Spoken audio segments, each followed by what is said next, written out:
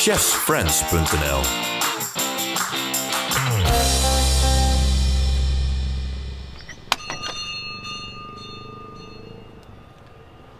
Hey, welkom bij Chefs Friends, kom erin. Dankjewel.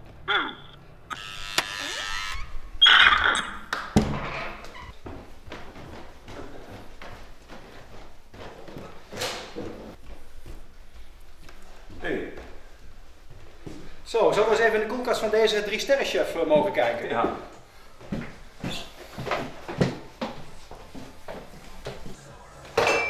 Ja, dit is mijn koelkast. Heel belangrijk. Hele mooie sherry. Wij drinken graag een glaasje sherry. Laten we eventjes bovenaan beginnen, Jordi. Wat, eh, wat zien we bovenaan? Dit is een, eh, dit is een wodka van, van een uh, Michelin sterrenchef uit, eh, uit Warschau. Hij maakt die, hij maakt die wodka maakt hij zelf met van onrijpe aardappelen. Dat is echt geniaal. Dit is heel belangrijk voor mij. Dit is uh, geperste yuzu sap. Dat gooi ik echt overal bij. Dat, drink, ik- dat doe ik ook door mijn water heen en zo. En, waarom is dat zo belangrijk voor jou? Dat is lekker fris. Ik, eh, water zonder smaak dat vind ik niet lekker. Dus als ik water drink, doe ik er altijd een beetje yuzu sap in. Remeke. Sambal, dat prut ik ook overal door. Ehm nou, er ligt altijd, oh ja. Geitenkaas voor Therese. Therese eet eh, heel graag geitenkaas. Ik eet graag die Remeke. Oh, dit ook. Dat is, eh, dit is kombucha. Dat is die ehm, gezondheidsdrank, maar die maken we zelf. Daar maken we ook gerechten mee. Nou ja, en dan... eh, steek, straks steek ik de barbecue aan. En dan ga ik lekker met de kinderen ga ik, eh, een mooi stukje vlees ga eten.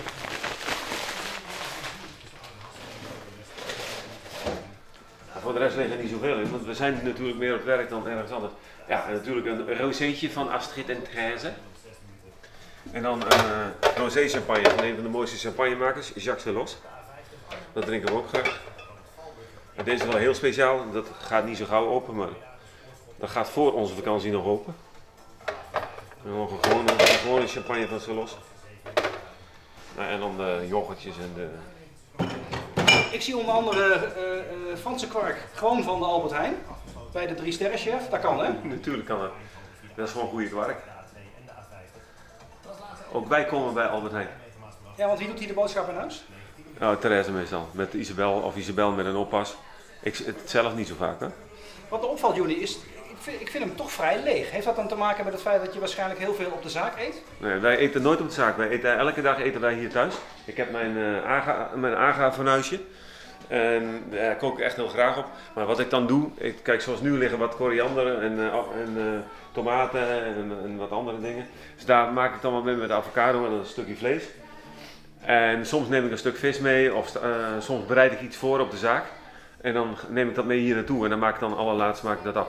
Maar ik, onze koelkast zit nooit echt zo stijf vol, want dat eten wij er toch niet uh, aan af. En hoe, eet een drie sterren kok thuis? Uh, is dat gewoon eenvoudig, uh, simpel ja, of, toch ook complex? Zo'n stukje vlees wat je net ziet, maar heel veel vis. Ik, neem, ik, ik, eet graag vis, zeker drie keer in de week eten we een lekker stukje vis. En, maar ook gewoon een lekker gebraden kippetje, dat kan perfect in die ovens. En je hebt, het is een heel, heel mooi systeem. Je hebt deze, we hebben vier, vier ovenkamers. Deze zijn de onderste is rond de 80 graden, deze is rond de 120. Dan ga je naar de 180, 200 toe en deze is over de 200. Dus je kan uh, slow cooking en je kan, je kan eigenlijk doen wat je wil. Hier zijn de platen. Deze is echt een stoofplaat en deze is echt vol gas. Deze, deze, dit fornuis is een, uh, van, van origine een, een, een, een gasding die altijd aanstaat. Die verwarmt ook het hele huis in, in sommige gevallen.